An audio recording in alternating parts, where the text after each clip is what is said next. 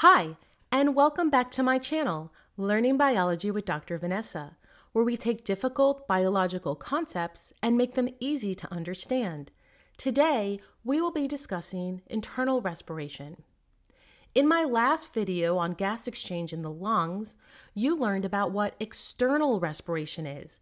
To recap, external respiration, also known as pulmonary gas exchange, is the diffusion of oxygen from the air in the alveoli of the lungs to the blood in the pulmonary capillaries.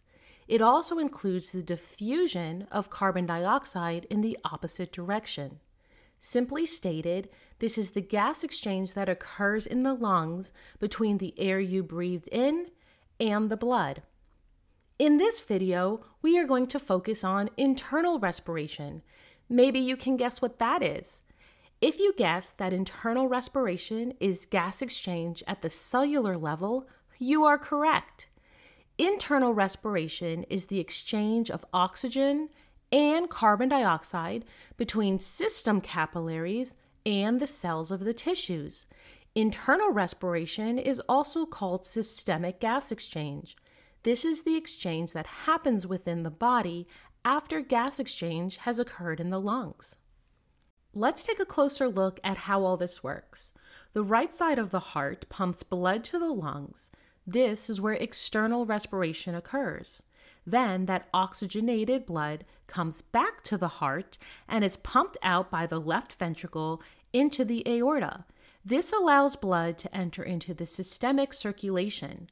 Blood travels from arteries to arterioles and then to capillaries, where oxygen can diffuse from the capillaries to the cells, and carbon dioxide can diffuse from the cells back to the capillaries and then enter back um, into the venous side to go back to the heart and start this cycle all over again. Why can this happen?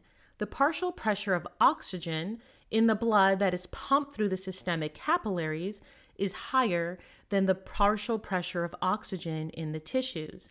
This is because that blood, as we just discussed, has picked up oxygen from the lungs and is freshly oxygenated as it travels to the tissues. This allows oxygen to diffuse from higher concentration in the capillaries to lower concentration in the cells.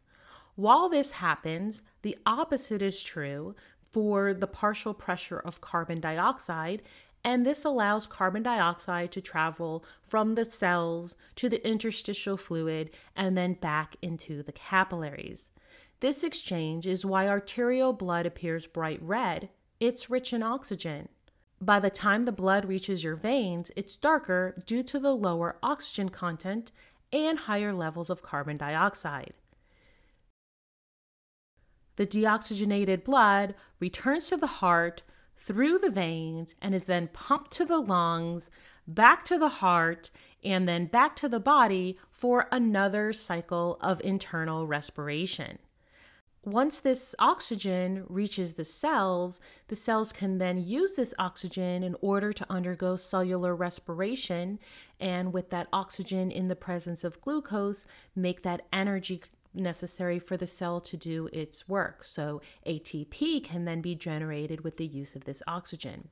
As the cell undergoes uh, cellular respiration and uses this oxygen uh, for its work, it's going to make carbon dioxide as a byproduct. And so carbon dioxide will build up, and then that will have to exit out of the cell into the interstitial fluid and then be picked up by the capillary system to be able to eventually leave the body as waste.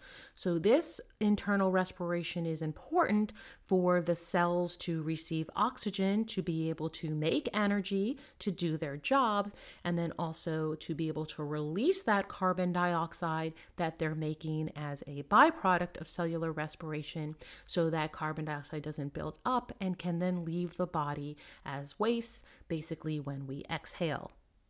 Let's also explore some factors that influence the rate of gas exchange, both in your lungs, pulmonary, and throughout your body, systemic. The first factor that can influence the rate of gas exchange is the partial pressure differences of the gases. Gas exchange occurs because of differences in partial pressures. Oxygen and carbon dioxide move from areas of higher to lower pressure. Greater or lesser differences in partial pressure can change the rate at which gas exchange occurs. The surface area available for gas exchange can also influence the rate of gas exchange. The larger the surface area of the alveoli or capillaries, the more gas exchange can occur.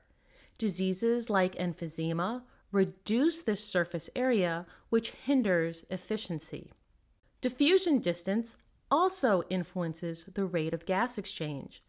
The respiratory membrane of the alveoli is very thin, so diffusion can occur quickly.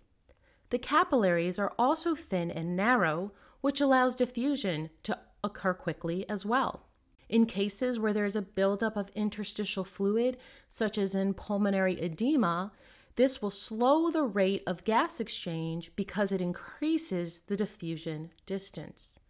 Thickened alveolar walls, as seen in conditions like pulmonary fibrosis, can also slow diffusion by increasing the distance.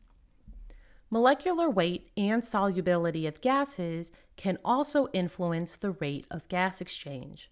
Smaller, more soluble gases diffuse more quickly.